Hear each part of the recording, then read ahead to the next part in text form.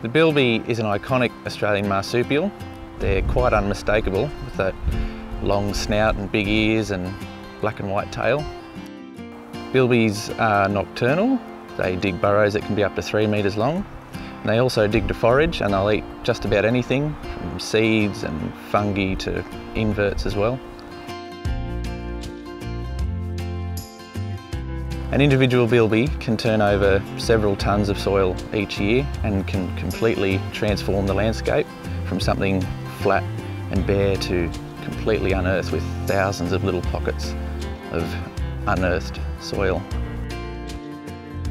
The bilby has suffered massive declines. They used to occur across 70% of mainland Australia, but that range is now reduced to just 20%. The primary threats to the bilby are feral cats and foxes, but also altered fire regimes and habitat destruction. They also face competition from feral herbivores such as rabbits. AWC protects about 10% of the entire bilby population at five feral predator-free areas across Australia.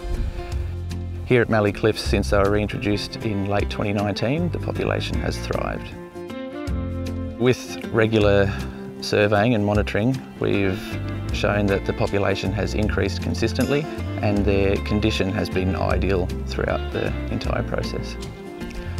So coming out to Mallee Cliffs and seeing a bilby run around is quite satisfying and rewarding. To have been part of a dedicated team that has reintroduced a valuable part of the ecosystem that's been missing for 100 plus years.